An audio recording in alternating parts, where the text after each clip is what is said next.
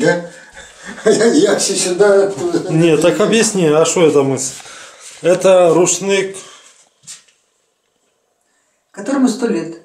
150 мы свет. А почему 150? Потому что бабушкина бабушка делала. А это не вот же, а, правильно, да, слева направо, не арабская вещь. А почему? Де ж та криничень, криничка Ощега? Вот это я не пойму смысл. Погоди, сейчас это у нас, это у нас э, Харьковская область, город Купянск. И бабушка, дедушка у нас тоже здесь жили, да? Да.